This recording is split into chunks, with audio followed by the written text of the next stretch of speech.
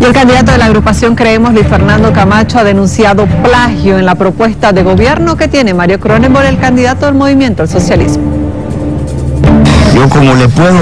mostrar, y esto no es eh, una, un trabajo hecho solo a mano por una persona, este es el plan de gobierno del señor Mario Cronenberg. En todas las hojas, absolutamente en todas las hojas, no solamente incentiva el centralismo y el avasallamiento, sino de que todo lo que está remarcado es copiado de otro plan de gobierno, especialmente de los planes de gobierno del candidato Fajardo de Antioquía, Colombia, de Ecuador, de Argentina, de México, y aquí está absolutamente de todo lo que ha plagiado, incluso hasta de una tesis.